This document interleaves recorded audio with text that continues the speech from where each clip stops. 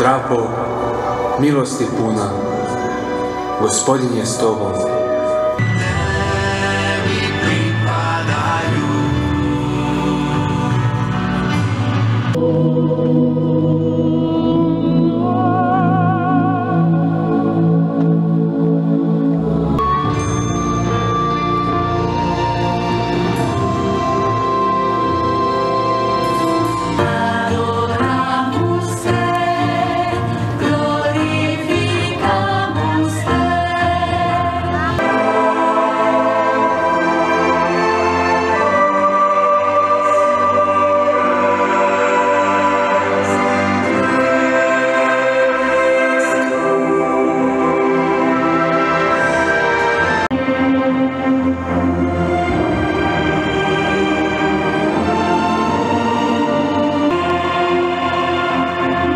Damijan za svećenika nad svećenicima.